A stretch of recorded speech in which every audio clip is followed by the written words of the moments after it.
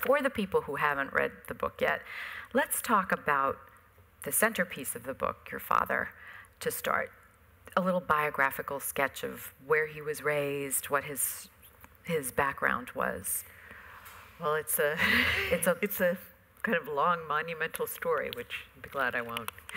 We'll get there. tell it long. We'll get there. Um, but uh, my father had many peregrinations uh, that began um, as uh, uh, uh, you know was born in Budapest in the 1920s, 1927. Um, so I'm Jewish, uh, the only son, only child of uh, privileged, wealthy, assimilated parents who spent much of their time in socializing and um, basically left my father to be raised by a series of nannies and governesses and tutors. Um, and that was his life um, until, and his name then was Istvan Friedman. Um, and so he lived this, you know, sort of life of affluence, the kind of coddled um, prince, uh, until World War II, when that was all swept away, and uh, large numbers of my family, of course, wound up perishing in the Holocaust. Uh, um, more than a half million Jews in in Hungary uh, were, you know, were uh, uh, died, and many, most of them in Auschwitz. Mm-hmm. Um, and my father, um, in the first of his identity um, transformations, um, survived on the streets of Budapest as a teenager. Uh, living by his wits, uh, passing as a Christian with only uh, false identity papers and a fascist armband. Uh, so that was how, where that was. Uh, by the time the war ended, he was uh, 17 years old and had already, you know, lived more than drama than the most people. And he helped his parents escape. Yes, survive. Um, so at one point during the war, and this is something I talk about in the book, um, my father used this fascist armband to impersonate uh, um, an Arrow Cross officer. The Arrow Cross was the Hungarian fascist party. Uh, and uh, so, posing as an Arrow Cross officer, he was able to march into this supposedly a protected house that was guarded by Arrow Cross officers, um, uh, supposedly in that uh, the Arrow Cross was about to haul the, uh, the Jewish residents out and shoot them into the Danube. Um, and my father claimed to be, you know, one of them and saying, you know, you know, you know hello, brother. And uh, he had this, he had he did have a uh, rifle without bullets my father had no idea how to shoot it and marched up and ordered his parents out and kind of goose stepped them down the stairs and out of there. And growing up in Yorktown Heights, where he eventually made his way to New York, married your mother, um, became a photographer's, a, sort of a human Photoshop, right? Yes. He, you heard these stories.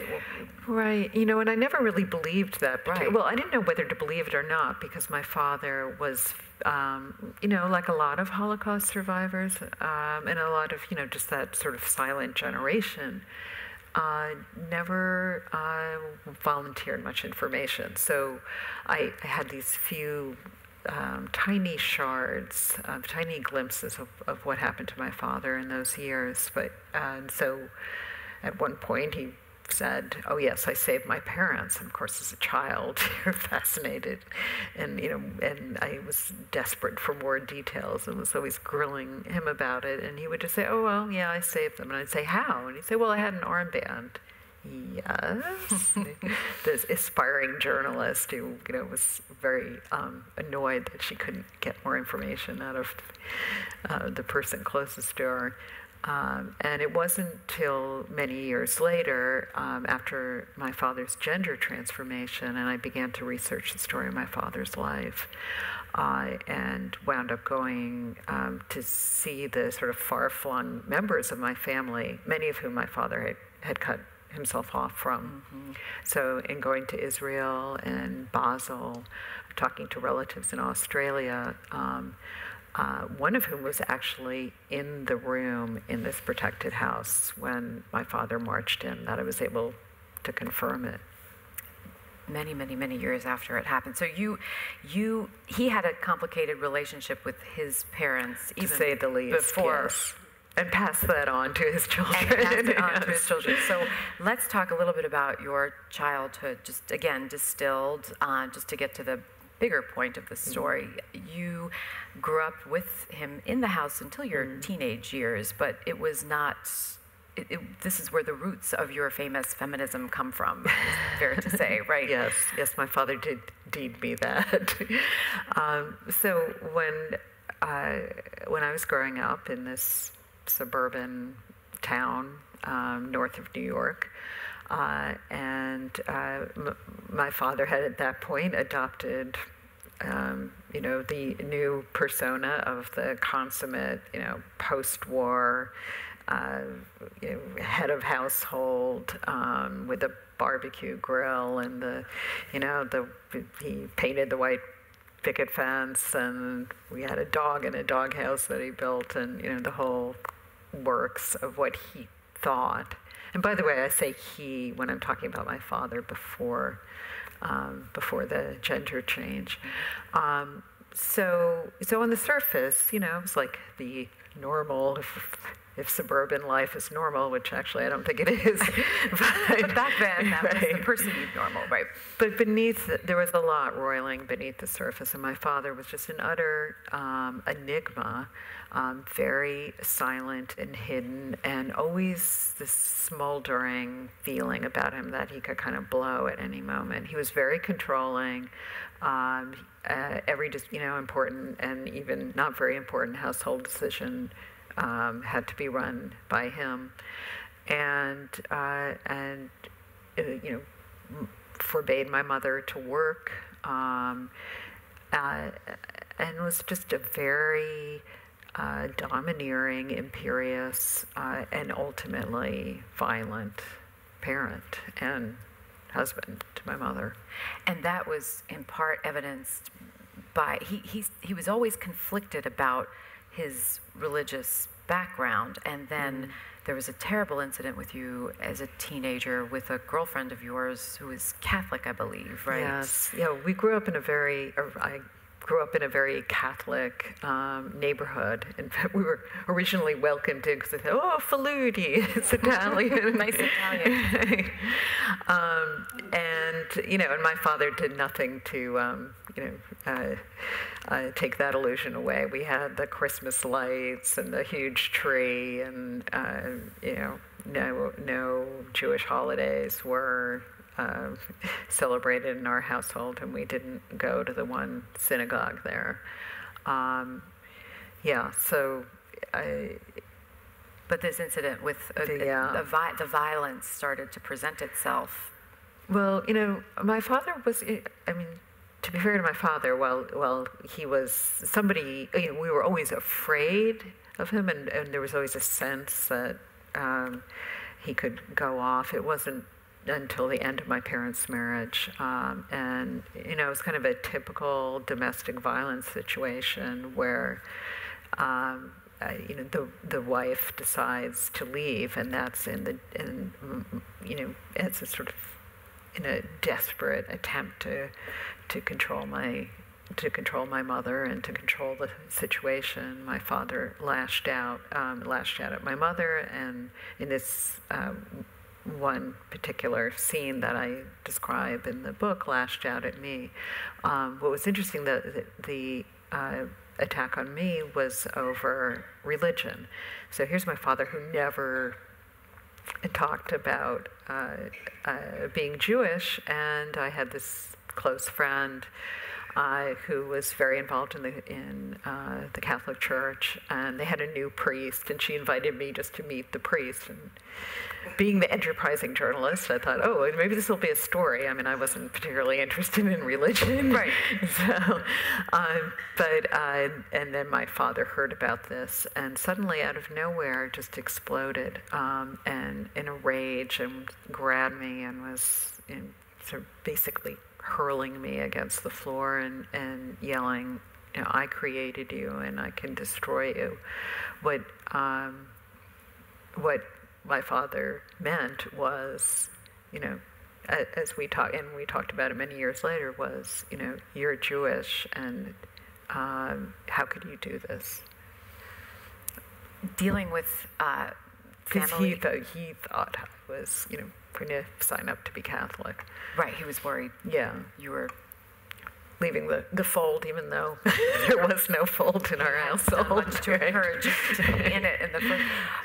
All of that as backdrop for what happened many years later in 2004 when you had a estranged relationship. You'd been in mm-hmm. touch with him a little bit over the years, right. but not wasn't a right. Know, yeah, no. I took my mother's side um, in this drama and was just horrified at.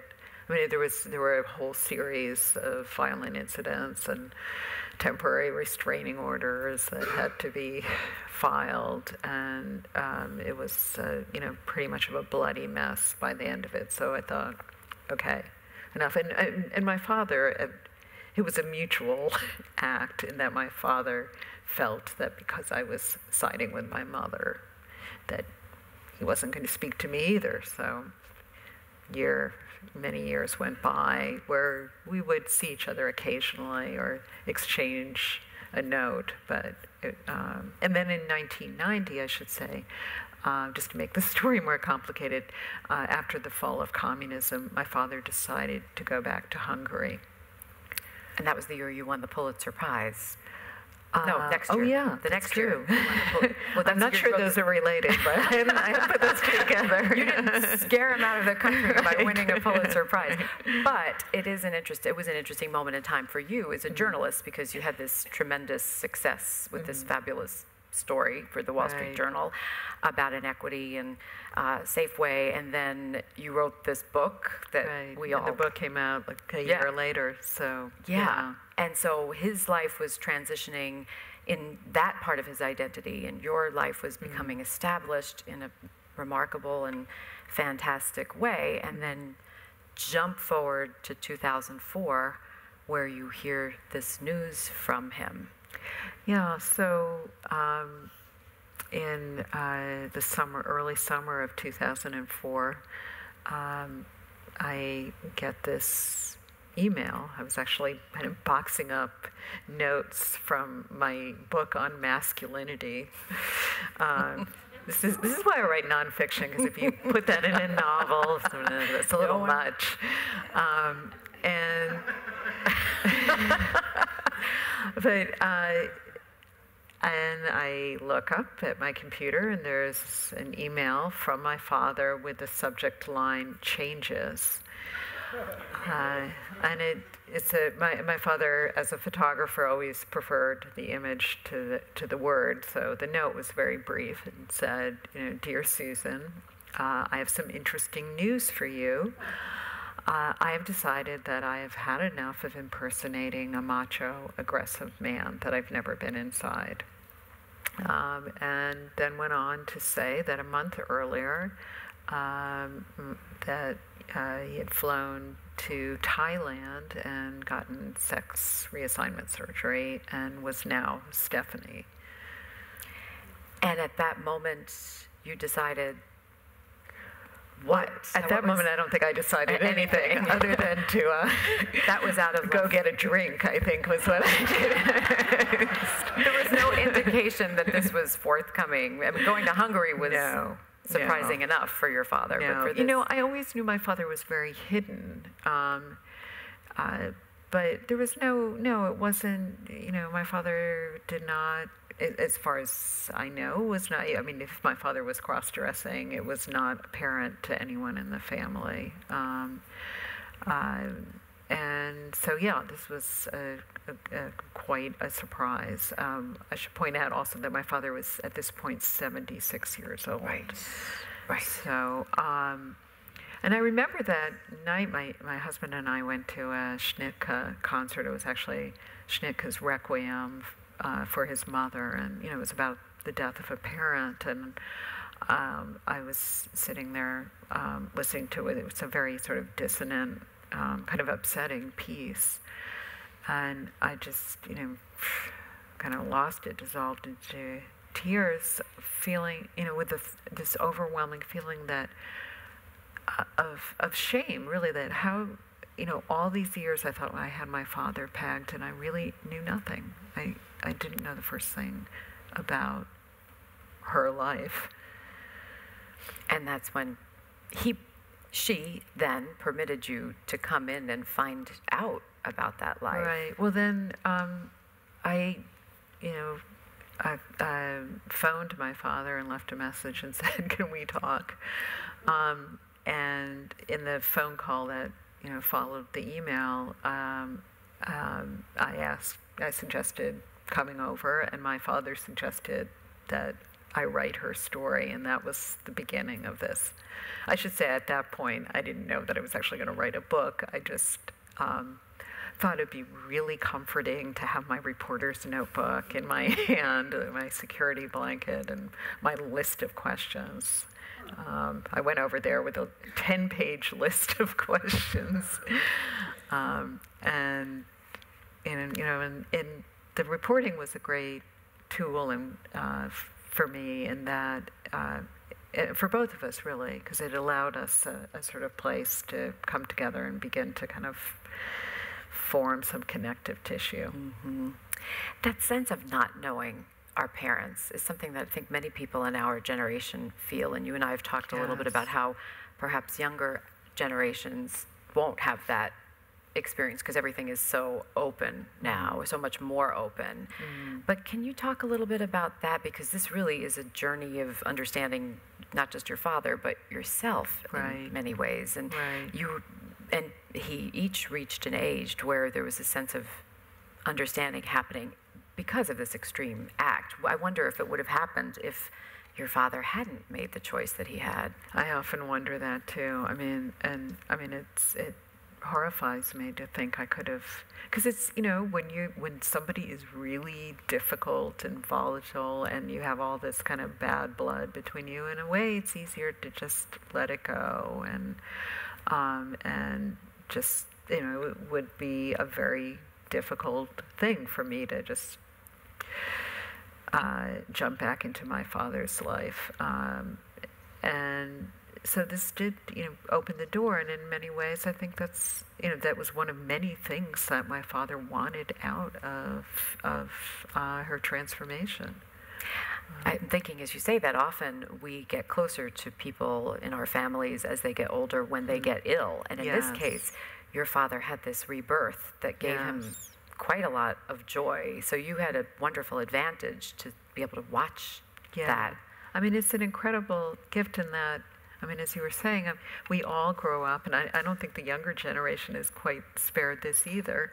Um, you know, kind of incarcerated with these people who, you know, who are our parents. We see them every, you know, day. Probably, you know, we see them far more than we want to, and yet we really know nothing about them. And so, from it's it's kind of a grown child's dream to be invited back in and you know get to sit down say and and have your parents say okay ask me whatever you want that said my father was not exactly forthcoming i mean she would say okay ask me whatever you want and then i'd start asking and she would change the subject or say, "Oh, that's not interesting." That was one of her. That's not any. That's not an interesting thing, or that's a stupid thing. That was her favorite remarks. Um, and, and yet, there were other times when she was more than forthcoming, yes. like her having you watch the surgery. Yes, well, yes, my father. I mean, it was, inter- it was particularly right after the surgery. Uh, there, uh, my father had this uh, immense desire to sort of throw open all the the the you know doors to her female self. So you know wanted to show me all of her wardrobe and all of the photographs that she you know, had. Uh, where she had um, kind of altered her image, um, you know, and montaged, you know, a woman's body onto her face, and there's this kind of almost compulsive photoshopping she was doing in the years leading up to the operation. So she was eager for me to see that and show me her makeup and um, but then I would say, okay, well, tell me about when you were a child, and my father would say, oh, well, that that's not who I am anymore. And that was a long battle to get to the point where my father began to open up about her past as well as her present.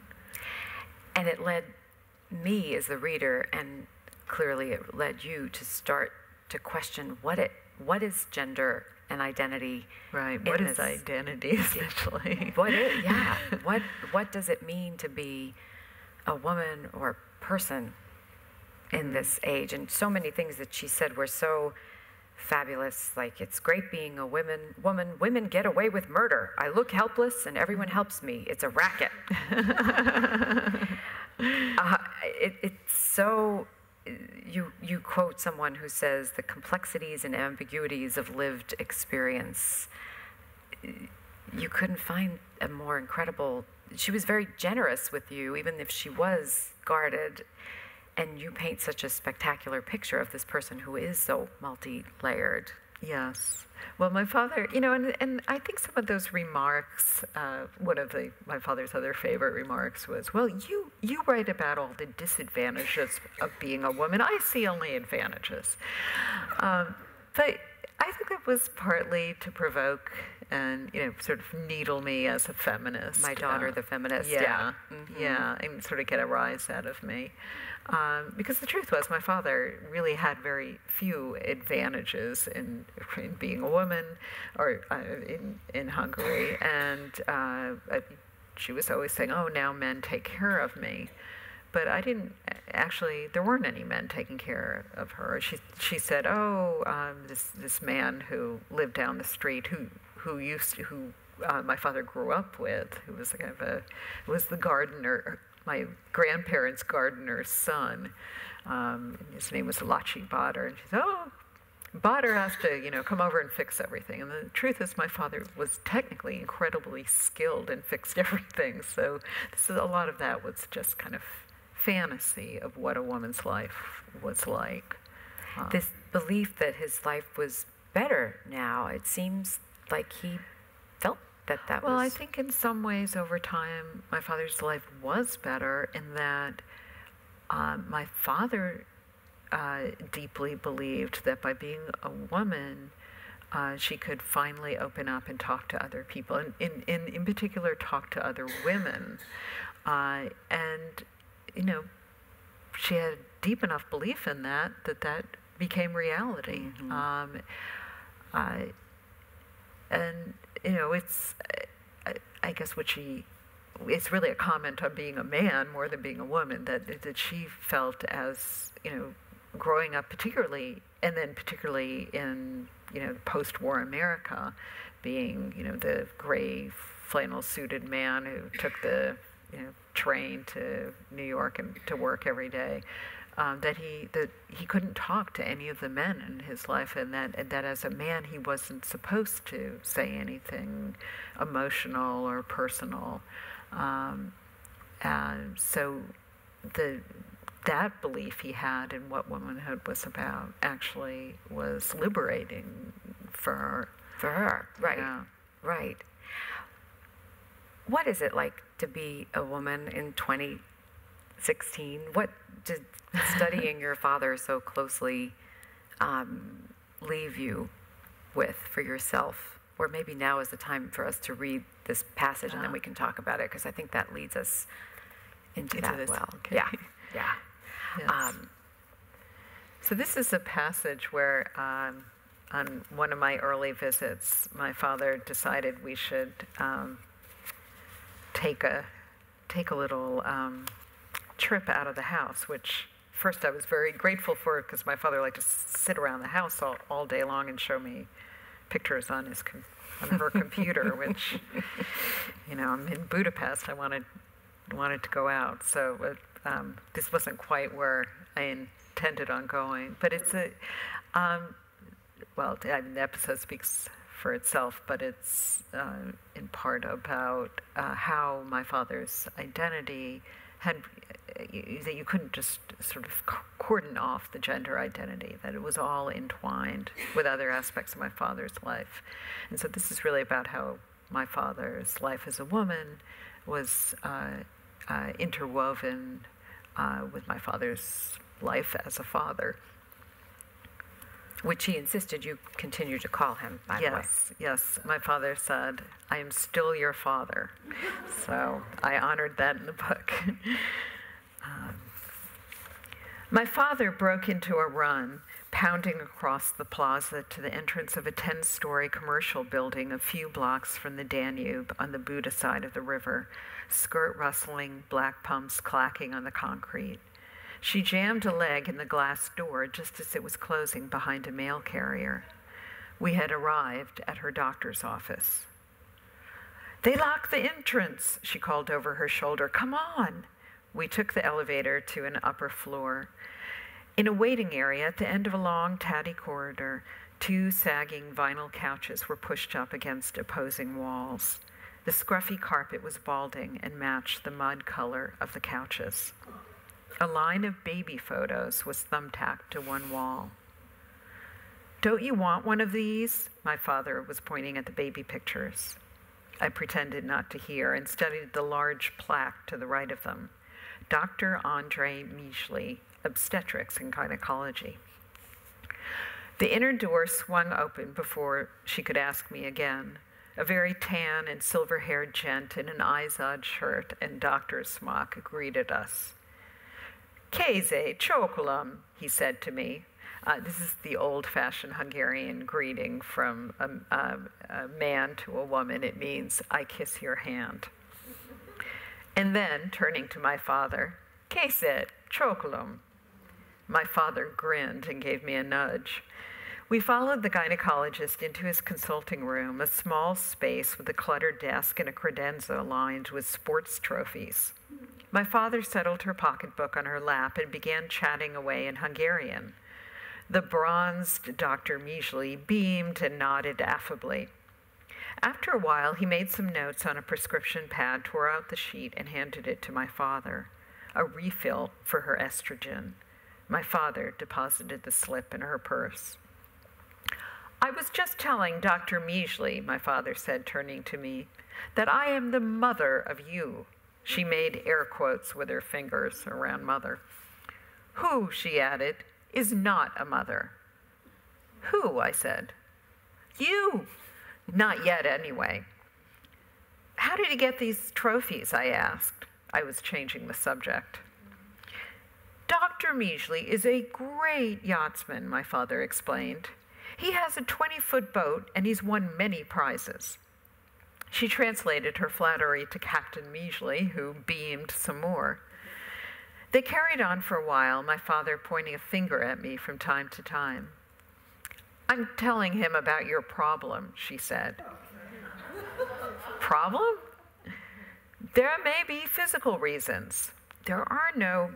Dr. Mijli put away his prescription pad. I pulled out my reporter's notebook. Can I ask a few questions? I said. Dr. Mijli indicated through my father that he was amenable. Do you see a difference since the operation? The doctor dawdled with his answer. He says my father is, uh, he says my face is very nice now, my father translated.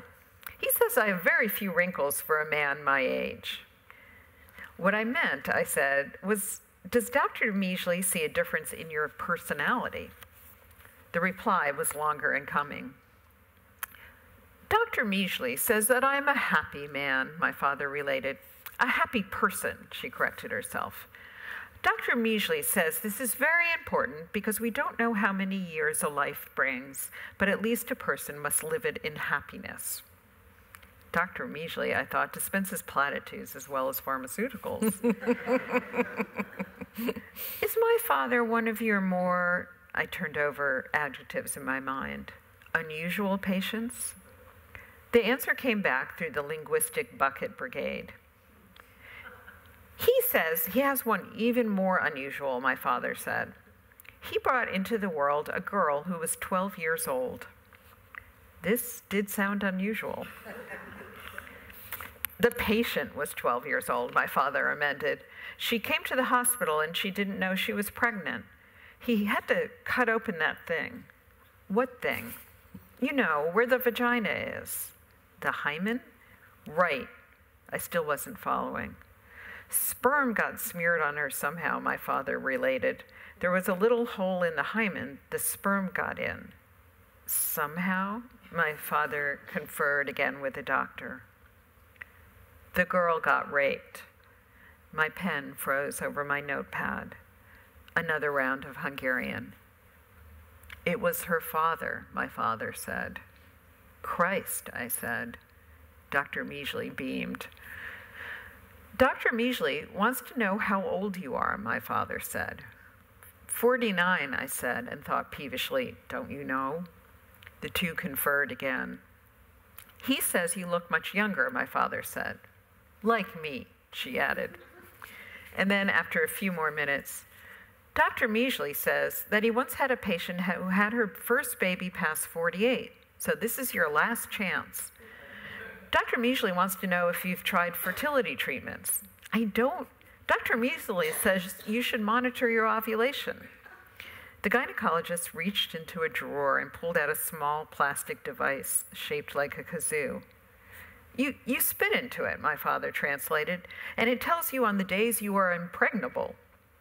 Impregnable? Whether you can have a baby. My father elbowed me.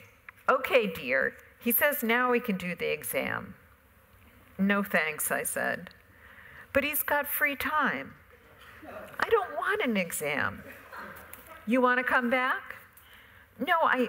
The doctor reached into his desk and handed me a flyer, an advertisement for Mini Microscope, the ovu- ovulation monitor. On the front, in girlish pink script and in English, it said, Maybe baby. It'll only take 10 minutes, my father said. No. My father snatched up her purse and headed for the door, her face contracting into a familiar scowl. We rode the elevator in silence. Downstairs, we stopped at the pharmacy. She had to pick up her hormones and found her place at the end of a long queue. I could feel my father appraising me. This business of no children, she said, it's not normal. When the prescription was finally ready, my father snatched it from the counter and flung herself through the door.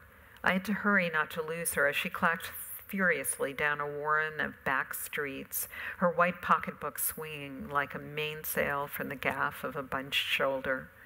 At one point, she disappeared around a corner, and I was overcome with a childlike terror of being lost.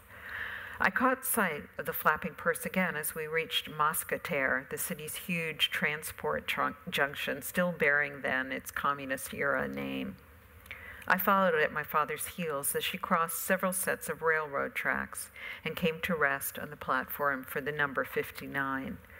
Some minutes into our wait, my father broke the silence. Everything reproduces, she said birds, bees, even these little weeds in the ground. She gestured toward a tuft of crabgrass pushing through a crack in the pavement. I looked down the tracks, willing the tram to come. Without children, your existence has no meaning, my father said. And when I didn't answer, your books will stop selling. People will forget all about what you wrote. I kept my eyes on the rails. It's the most important thing, she said. I turned to face her. Family, she finished. If family meant so much, I thought, and didn't say, why had she cut herself off from the one she was born into and the one she had sired? Wasn't she still cutting herself off? I'm Steffi now, she liked to say, cutting herself off from her whole fraught history as a troubled son and an embattled husband and father. But what if something else was going on?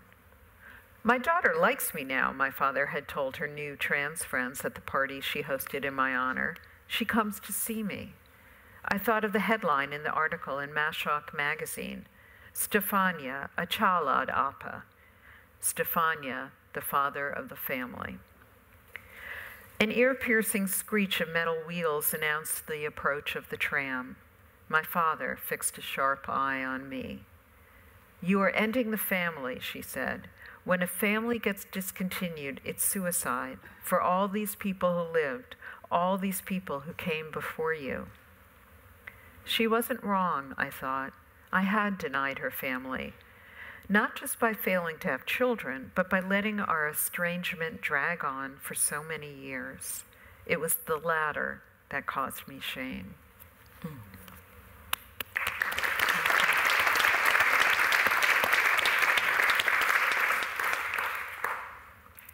So you didn't have any kids? Yeah. yeah. Didn't change your yeah, mind? Yeah, the maybe baby didn't, didn't work out.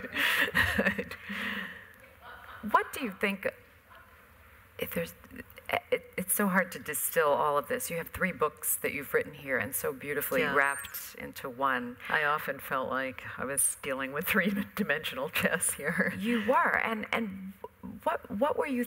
What was it like to write this deeply personal book because you'd not done that before. What, how did how did that work for you? Yeah, was, I mean, it was certainly a departure for me, and not one you know that I was uh, at all used to or prepared for. Uh, and my journalistic mode kept kicking in, um, and uh, my sort of obsessive research mode. So I think, okay, well, I can't really get going on this until I you know, read Randolph Braham's The Politics of Genocide, the magisterial history of the Hungarian Holocaust, which is about, you know, 5,000 pages long. um, and I wound up doing an immense amount of research, um, not only about Hungarian culture, uh, about the Holocaust, about European anti Semitism, and the way that intersects with gender. Um, and then, the, of course, the whole history of, um, of uh, the transgender experience, which um, goes back, um, uh, you know, to uh, the turn of, uh, you know, to the early 20th century. Um, and so then I would write all that up, and um, uh, those who read it, my, my editor, my husband, um, would say, you know, you, you need to put more of yourself in. and this really is, because ultimately it very much is a book about my relationship with my father or my struggle to um, uh, figure out what that relationship was. So it was, there was a lot of stopping and starting and rewriting. Um, I mean, the book got rewritten pretty much from um, start to finish at least three, maybe four times. Um, I cried many times through the book. Did you stop and allow yourself that sort of emotion? I think I cried after the first time I wrote it and thought I was done, and I started rereading it. that, was, that was the most upsetting part for me.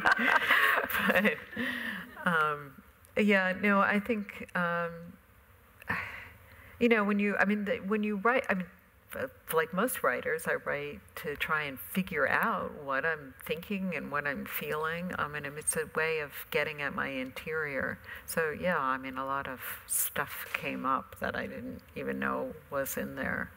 Um, and, but I think most of my, you know, shaking, my, my emotional upheaval um, it was both at the start and um, certainly at the, the end of this, um, the last year when my father was in failing health, and you know, um, being there to the witness my father's you know last um, season on earth. That you know, anyone who has lost a parent knows there's nothing more, you know, emotionally wrenching. But you might not have imagined that 30 years ago that you would feel that no. kind of loss or connection yeah.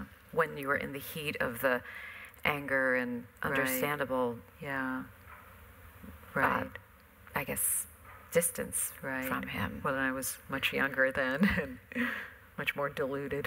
and that's what I find so interesting about this is that many of us have very complicated relationships with our parents, but that right. doesn't mean we don't love them and we don't want right. to be part of their lives. And he, in fact, did deny his mother yes. um, when there are years of estrangement, right? Yes. They never they never saw one another again. Well, um, so my my grandmother. So after World War II, my um, my father. There's a whole there's several chapters, but my father wound up leaving Hungary after, you know, after surviving the Holocaust. Um, uh, went to Denmark to distribute, to be an export import uh, entrepreneur of, of films, and then went to Brazil and was uh, a documentary photographer and filmmaker in the you know, Amazonian outback before coming to New York in the mid 50s. Uh, but meanwhile, my grandparents um, uh, eventually moved to Israel. Uh, they were in Hungary for the uh, uh, up till about 55, um, so right before the Hungarian, the short-lived Hungarian Revolution. Uh, and because they had been wealthy beforehand, they were, you know, de- deemed, um, you know, kulaks and were sent off to live on a pig farm in Hungary, and then finally got a got a visa and got to Israel.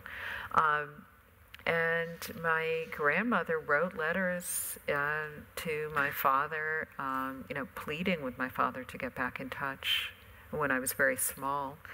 Uh, my father uh, would get them and just toss them aside, and my, and my mother would actually write back to to my father's mother. I mean, who she had never met. Um, would write back in English. I mean, she had no idea what these letters said because they were in Hungarian.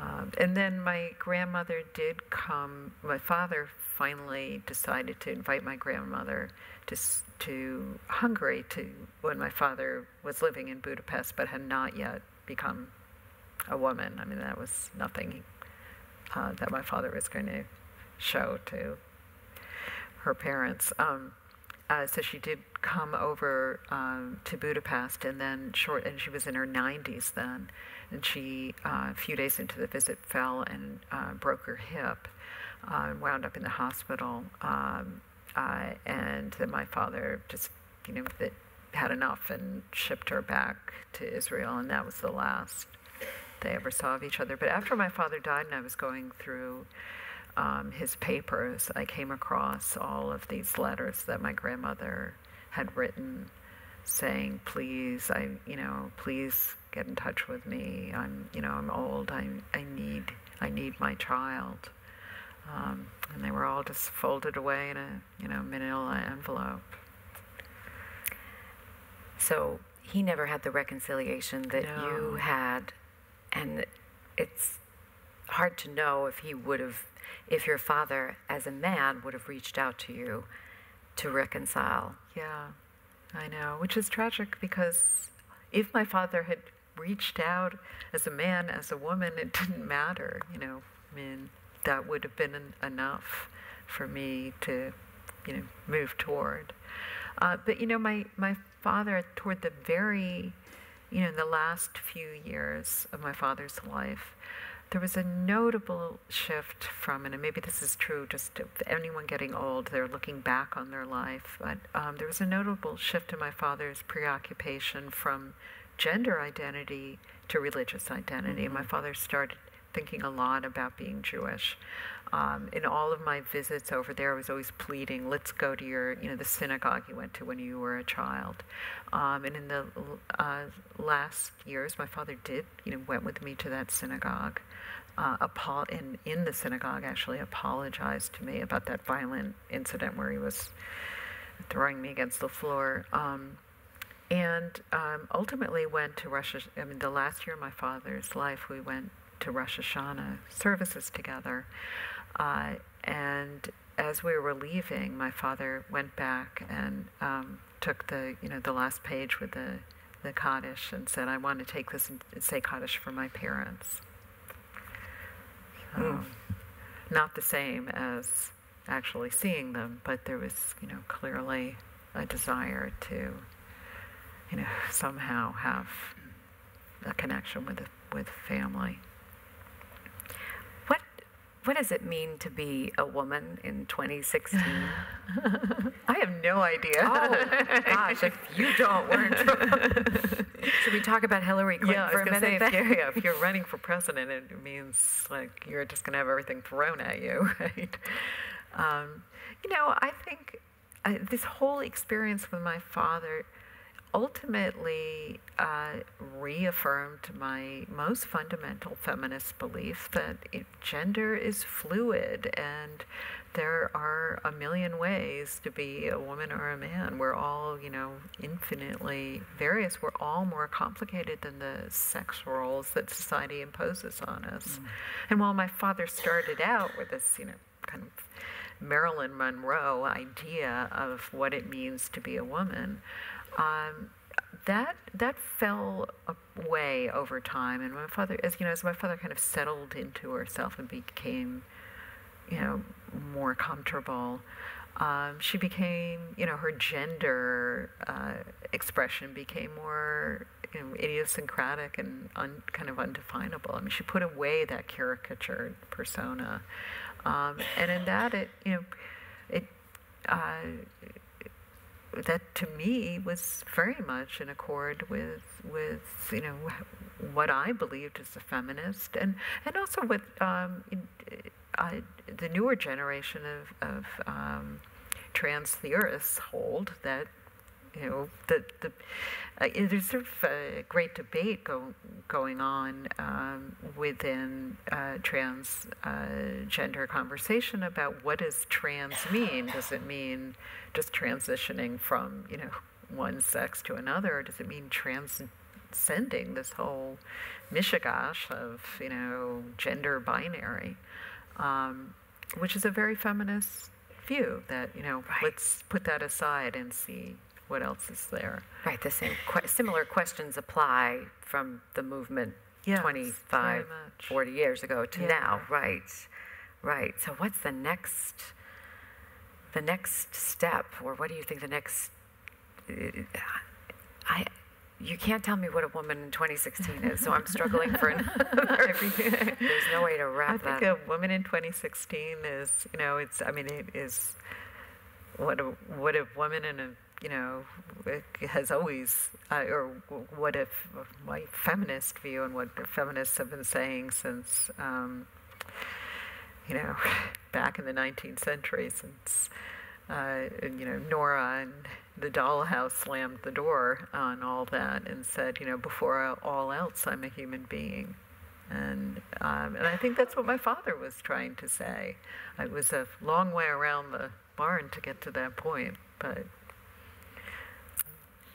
I love that he inspired your first book inadvertently. Yes. The way, with his actions, and inadvertently inspire, or advertently inspired mm. this last. And is there, do you. And maybe my second on masculinity as well. Right, yes. right. Um, Which you said that he, uh, you had told me before we came out here that you believe he read it around the time that he was probably making these yes. decisions, right? Yeah, because that book came out in 1999. Um, and you know, my father had the operation in 20, 2004, but there's a long period up. You know, you have to have hormones for a year, and um, and I sent the book to my father, uh, and you know it's a it's a very empathetic. Um, some uh, some women feel it's too empathetic toward men. many women who said, "Why didn't you just write backlash too?" You know, enough of this sympathy for the devil. um, uh, but I mean, empathetic on the grounds that men are trapped in what may, in many ways, is an even more confining mold of you know very narrow spectrum of what what is okay um, uh, for you know a man to express and feel, um, and so you know, my I my father read that and um, I I don't I, I don't know you know he my father never said what, of course, my father wasn't big on, you know, textual analysis of my books. so, um, but I, I would like to think that that was one indication to my father that I was open to um, um, thinking about her transformation. You did say that when after he passed, after she passed, you went through her belongings and found a box dedicated. It was oh, the Susan yes, box. Yeah. So he'd been yes. all along, even when you were estranged. Had been clipping articles about you know when Backlash came out or when I won the Pulitzer Prize, and you know there so there was this stash of, of news clips and um, just heartbreaking. Know. And, and and some letter and all the letters I had written to my father, which I wish there had been more before our reconnection. But um, yeah. You were never far away. Well, I was, but we wound up closer. we wound we wound up um, um, having more than that that folder. I mean, that would have been terrible if at the end of my father's life, if I'd come over there and um, and realized that that was all that was between us. Mm. So. Well, this is a beautiful, beautiful book. Thank you so much for writing Thank it and introducing us to your Thank father. You. I think we have time for questions. Oh, there you are. Yes, we do. We do have time for questions. Just a quick reminder questions at Live Talks LA generally start with a W or an H, sometimes a D. They are typically short. We do not believe in two part questions, and only Lisa gets to ask follow up questions. Hello. Servus. Um, Servus. Um, I'm wondering, uh, do you have any sense of when your father first started to believe that he was a woman? Um, well, my fa- you know, I can only go on what my father told me, um, and and that's difficult because my father often answered questions with, "Well, maybe," or maybe not. um, so I asked that question um, uh, many times, and uh, my father said uh, ultimately that that she had been thinking about um, being, you know, had this desire and belief that she should have been a woman um, from very early on, and she remembered. Um, trying on her mother's clothes uh, when she was like seven or eight. Um, but you know, again, it was always complicated because then my father would say, well, my father would tell me the story and then say, well, but you have you have to say that to get the surgery because you know you have to go through the you have to jump through these hoops. You have to tell two uh, different uh, psychologists. Um, that you know convince them that you're eligible and you know down the years these kind of sort of rules of what you have to say and one of the things is it's expected that you say, I've you know felt this all my life. So my father say, well, you have to say that, and then I would say, well, so is it true or not? And my father's favorite line was, well, uh, yeah, I mean, I said that because you have to say that, but it's also true. so. It turns out that he, she, well, he, when he was still a man, he went through the procedures or the, the, the paperwork mm. and altered some of the paperwork. Yes, you know, you're supposed to get two um, approval from two different independent, um, you know, uh, mental health professionals who know something about this. And um, so my father went to the the first one, um, and she uh, wrote this uh, uh, evaluation after I mean, frankly, after seeing my father once, so, you know, how legitimate is that, right? I mean, one way or another, but she felt, um, she, when I finally got it translated, because of course my father didn't want it translated, so I ended up like depositing it in my purse. Um, so my father wasn't the only sneaky one in the family. Um, but the, uh, that uh, the, psychi- the psychologist said uh, that she felt my father's um, had a disturbance of identity, but it, it wasn't necessarily gender alone, which is probably true. That you know, my father had many identity issues. Um, so my father just kind of put that one aside, and then got another. Uh, went to this other psychologist, um, who, uh, in fact, did also did only gave my father the letter after the operation so that my father could get uh, her name changed. So she had, at this point, had no letters. So she called up the, the uh, or emailed the surgeon in Thailand and said, you know, oh, in Hungary, they're not very advanced and they don't have any, you know, psychologists who I can turn to. Uh, so the so, so the surgeon wrote back, okay, well, do you have a close uh, family member or you know, or a close friend? Um, and so my father decided that uh, she would write a, a, letter from a close friend. Um, uh, and uh, my father actually had a, a, girlfriend at the time, um, but rather than ask the girlfriend to write the letter, my father just wrote the letter herself and um, set it in this kind of um, italic, feathery font because my father said, well, that looks more feminine. Um, and uh, much, I mean, this is disturbing given how uh, profound a surgery it is, but um, this the uh, surgeon said that's fine, come on ahead, and then that was all it took.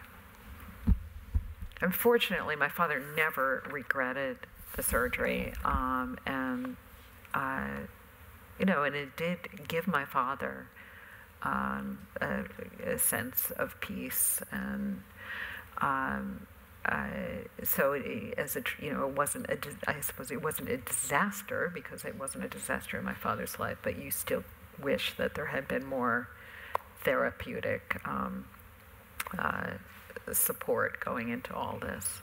You follow in the book Mel, someone who's in a similar but different, ultimately different yeah. situation right. of conflict that, than your father, who didn't ever seem to have conflict. It seemed like he was set right. on becoming.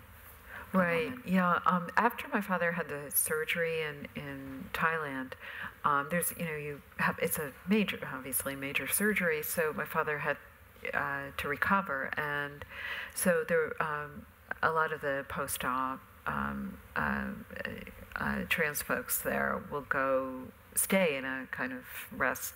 You know, I mean it's really like a guest house. And so there was this guest house called Melanie's Cocoon, run by Melanie, who um, had had the same surgery from male to female at the same hospital. And um, so my father went and stayed there for a while. And uh, so, and then, uh, so Melanie lived part of the year in Thailand and part of the year in, um, in the US and just happened to live in the town where I was living at that point again, something you couldn't make up couldn't with make fiction. And my father said, "Go see Melanie, and you know, find out about, you know, ask Melanie about me." Uh, so uh, I did, and when I met Melanie, Melanie had gone back to being Mel.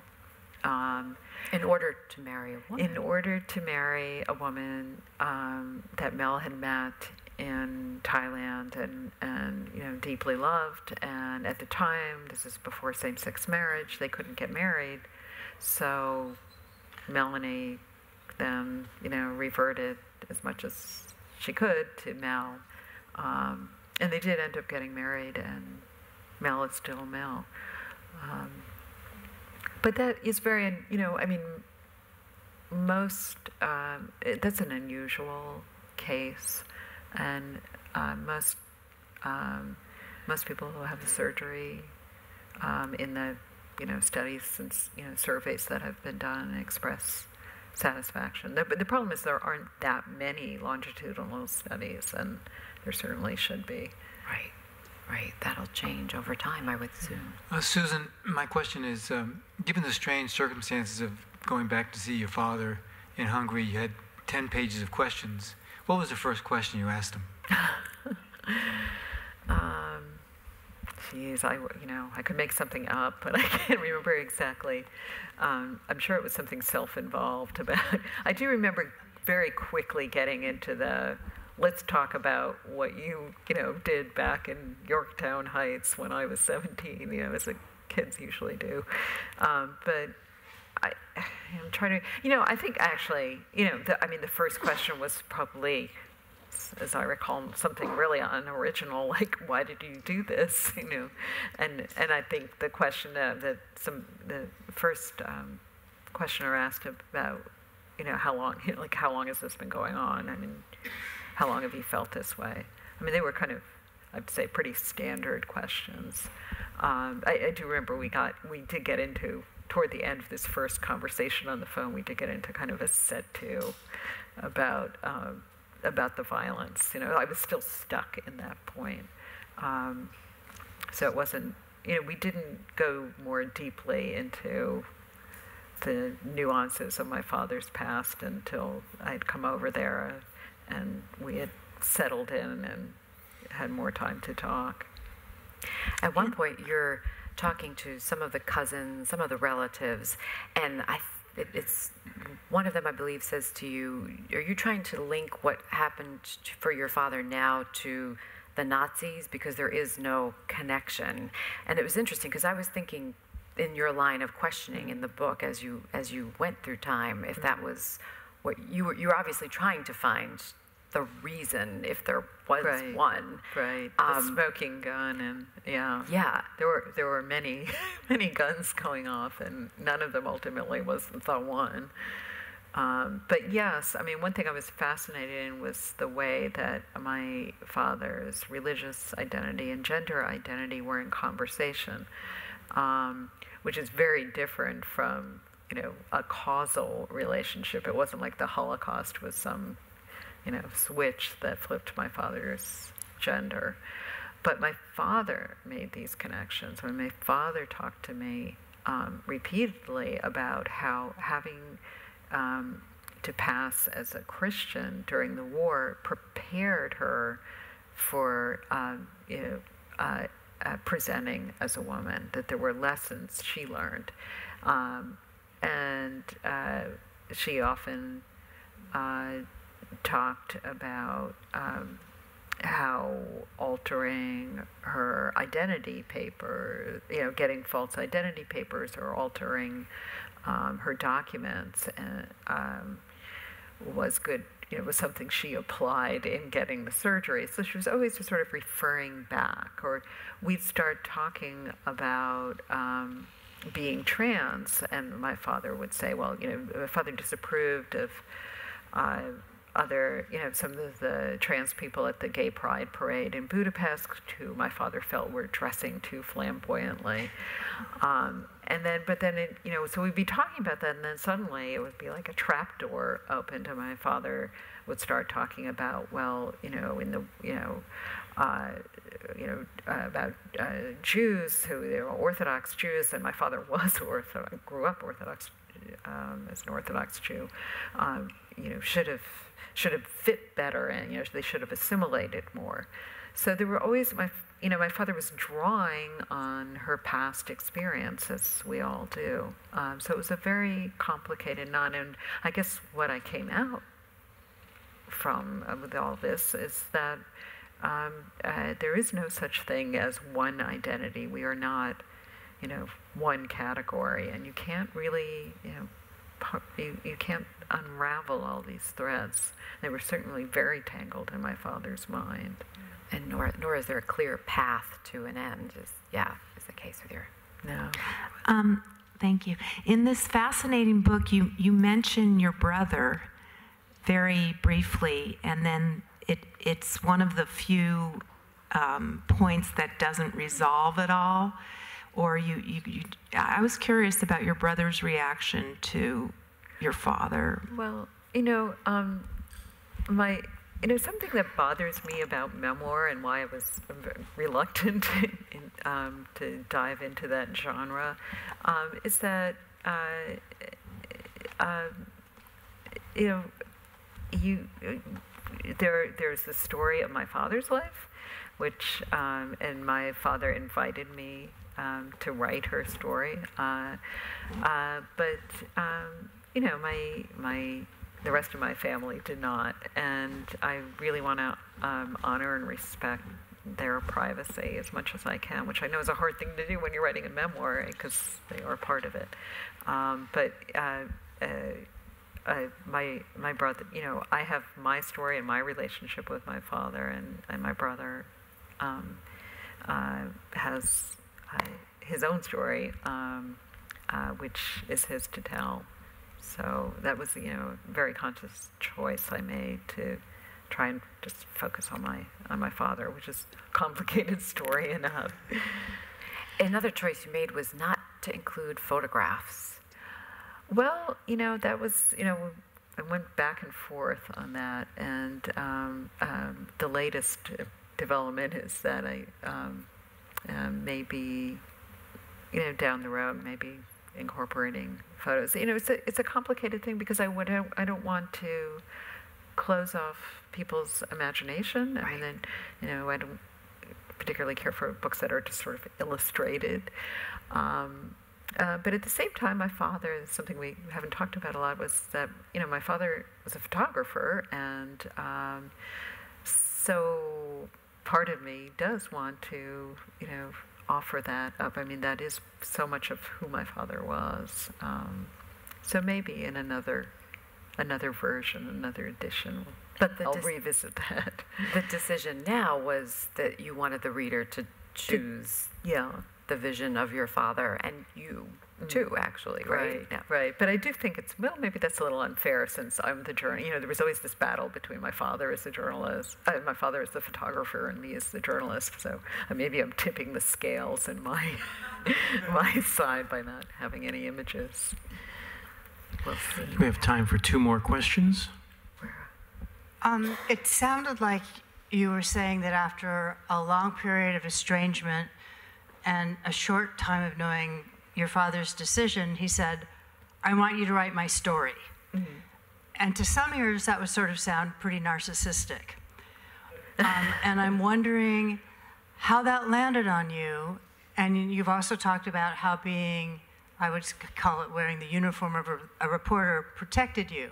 So I'm wondering both how it landed on you and if there were parts where the reporter's uniform got blurry and you didn't, where you lost the protection?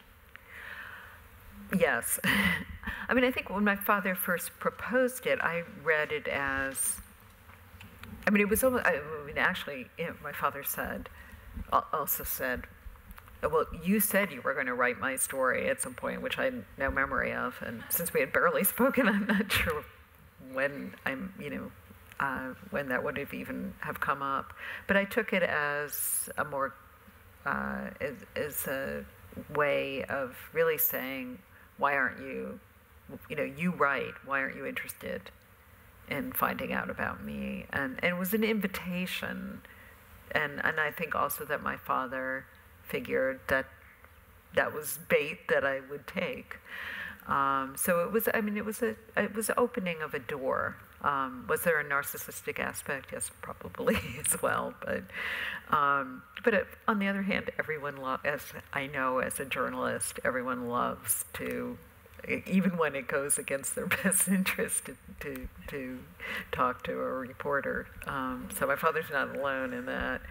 Um, you know, I mean, ultimately, of course, this was a story where I was not just an observer. I was as much a participant. Um, but the and but the reporting sort of allowed me to to slide into that pool uh, to get out of my comfort zone um, uh, because I mean one of the most important things of being a journalist is is you know, not um, sitting in judgment and not letting your assumptions um, you know close you close yourself off from the story and um, to perceive as much as moralize. Um, and my father deeply was deeply wanted to be perceived and chose me to do that perceiving. Um, but in the end, I had to, you know, look at myself and my relationship with my father as well. Did you?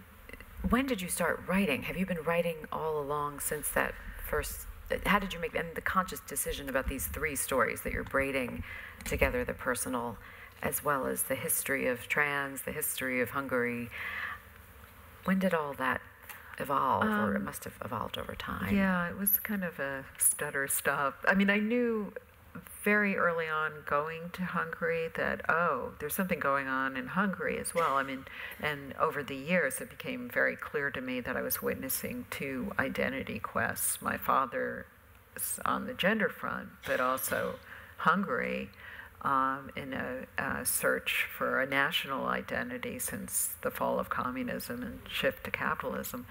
Um, and the Hungarian identity search was a cautionary tale of you know what happens uh, when things go deeply awry because um, instead of uh, confronting the real problems um, the country had and reckoning with a very you know, dark past.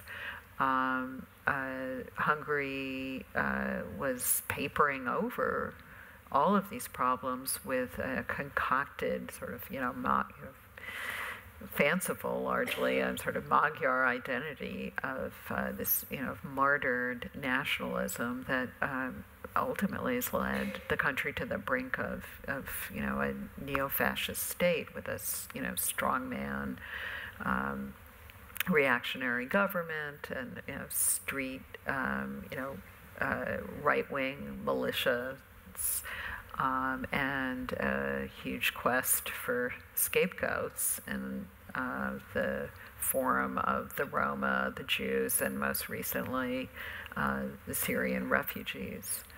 Um, so, so it was that that I knew that was a piece of the story. Um, and then there's my father's story. Then there's the trans story, um, and I, but I didn't. You know, it was I, I mostly was writing in uh, in a composition book. My you know just my sort of pouring out my um, feelings and my findings for quite a few years before I started really writing.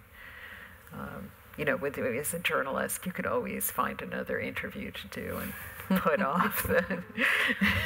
but did you know you wanted him to have passed before you published the book? I didn't know, you know, and I wasn't sure what I was going to do with it. You know, for many years it was a way for us to talk to each other, and I, I which didn't mean I wasn't going to write write a book. I just didn't know, you know, whether it was going to be a book for that I put in a drawer or. Um, something I'd publish. I, you know, kind of went back and forth on that. And, uh, you know, one obviously really deep concern was how my father you know, would feel because I didn't want to write a hagiography that really didn't serve anything, but I, I didn't want to cause my father more pain either. Um, so that was a factor. So I just sort of postponed it. I can't I can't say that I thought about it in any very um, you know cut and dry way. I, I wasn't I was confused and uncertain for much of this process. What do you think his reaction would be? Well, I think my father would have loved the attention. um, there were, I'm, you know, and as I said to my father, um, uh, when I, you know, finally had a, a manuscript ready, I, you know, I called my father and said that it was done and that I had showed it to my editor at the publishing house and they really liked it. And my father said, "Oh, that's fantastic." Hungarian, this kind of drawn out vowels, and I I said, well, you know, there there are things in here you're not going to like. It's kind of a worse than all treatment, and and my father didn't say much of anything to that, and and never asked to read it.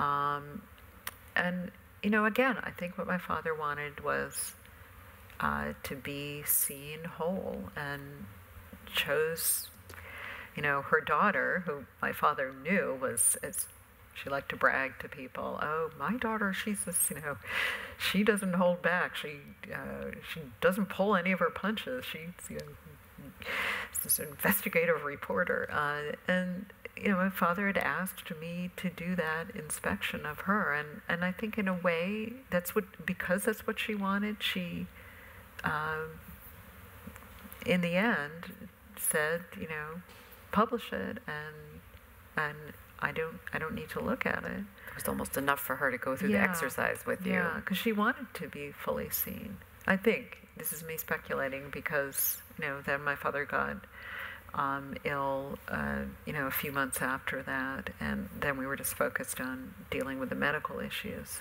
Right. Um, although, to you know, the week she died, I mean, when she was in the hospital, she was telling people, "My daughter is about to publish a book." So, um, so I don't know. It's just one of many mysteries about my father. And our final question for the evening. Um, maybe this is a single word answer. I don't know. Um, how much do you think your dad? Maybe my father would say. how much? How, how, much do you think um, the violence that you and your mom experienced at your father's hands before his transition was a part of his own sort of internalized misogyny, or sort of his ang- maybe his mm. uh, fear or anger at his own suspected trans yes, gender that's a, identity?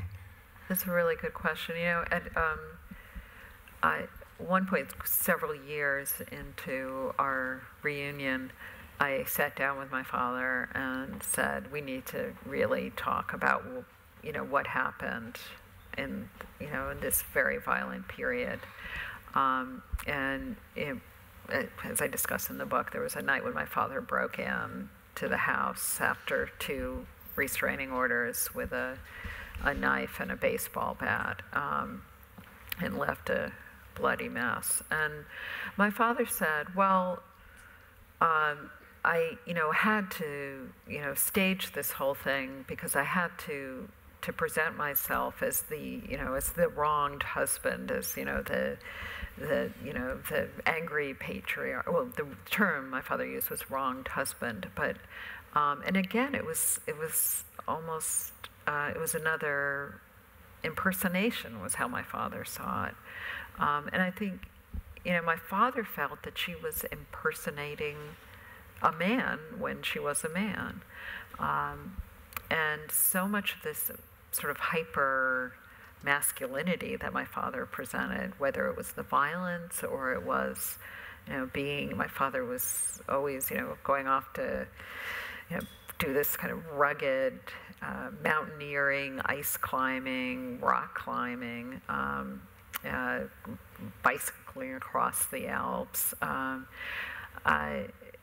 these were all ways of, of kind of, in large measure, I think, you know, denying who she really was. Um, and I sometimes wondered if after her transition, she went through this period of hyper femininity as a way, almost she had to go to the other extreme to kind of break the break the carapace of her hypermasculinity. Um, uh, so that she could finally get to the point where she could just be herself, which, you know, is what we're all, I hope, striving for. So. Yes. One last question. Wait, sorry. Oh, you've got one there. Sorry. Oh, sorry, we can't see anything. Yeah, of bright lights. Oh, Ted? Oh.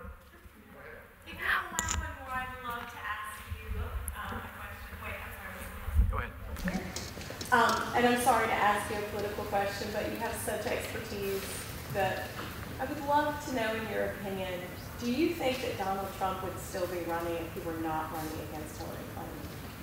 Oh. Excellent question. Well, that's it depends who he was running against, but um, I don't, you know, I, those are hard. It's, it would depend who it was, but it does certainly seem like, I mean, there's a historic gender gap right now in the polls for a reason, and and uh, to my mind, I mean, this is the culmination of a long gender drama that's been going on for you know for at least 20 years. I mean, since the last Clinton administration, um, I'm saying that hopefully, like there's going to be a next Clinton administration, um, uh, where you know, that, you know, the angry white man phenomenon of the 90s, where um, you know, men were uh, who, for good reason, were upset about the social and economic changes in the country and how it had affected them, were manipulated by the right um, into uh, believing that, you know, or wanting to believe that their problems could all be laid at the footstep of uh, doorstep of minorities and women, and women as personified by whom? Hillary Clinton, right? I mean, when I was working on my book on masculinity in the 90s um, and interviewing um, uh, the sort of this margin, you know, men who felt the most cheated. They talked endlessly about Hillary Clinton as the Antichrist and the power behind the throne, and she was really calling the shots, you know. So, and this is back when she was just First Lady. Um, so here we are in 2016 and, and replaying that, that um, drama and extremis with, you know, Trump as this, you know, uh, chest beating, uh, you know, bully who's, it seems like the main thing he has to say is, um, uh, spewing Hillary. misogynist slurs at, at, um, at, at, Hillary Clinton, and when he before that of accusing the men who he was running against of, of being being feminine in one way or another, right? So it's sort of the same same story, and um, you know, here we have the least qualified candidate ever, and arguably you know, one of the most, if not the most qualified, and it, this should not be neck and neck. So it, it's hard for me to believe that gender isn't a profound reason where we are where we are today. Thank you very much.